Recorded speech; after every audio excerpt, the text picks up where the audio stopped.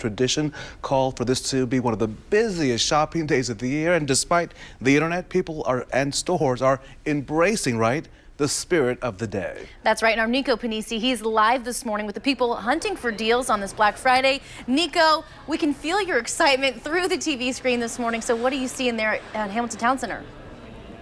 Yeah, I'm here at Cabela's where folks are filing through the aisles. Their carts are filled with products and they're ready to get these deals. Now, the doors opened here at 5 in the morning, but I hear that folks actually started lining up as early as 8 p.m. the day before. Earlier, we had spoken to a person who said he'd gotten here at midnight, but we're hearing from manager here, Jordan, that they actually started seeing people camping out at 8 p.m. Jordan, that's really wild that people were so excited for your deals this morning.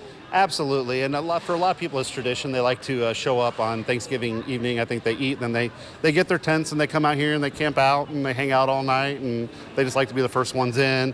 Uh, we were giving away 250 different gift cards, mystery gift cards this morning. Um, so they, they got lined up just to have fun, and uh, we try to make uh, Black Friday a lot of fun in our store, and a lot of people just come for that very reason. Gotcha. And folks, I'm sure, are coming every year. This is a tradition for them. Correct. Tell me, how has it changed over the years? You know, with the advent of online shopping and Cyber Monday, are you noticing that less people are shopping on Black Friday? Uh, maybe a little bit, but because we like to keep things a lot more traditional, um, a lot of our customers really enjoy the hands-on portion of shopping.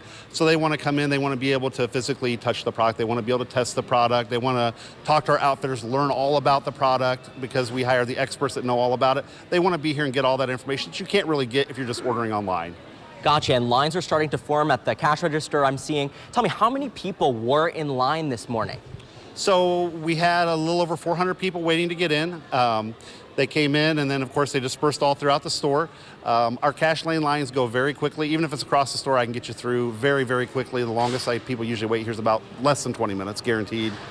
All right, well, thank you, Jordan, for joining us. And if you want to check out all the deals throughout the weekend, including Small Business Saturday, you can visit our website, WRTV.com. Reporting live, Nico Panisi, WRTV.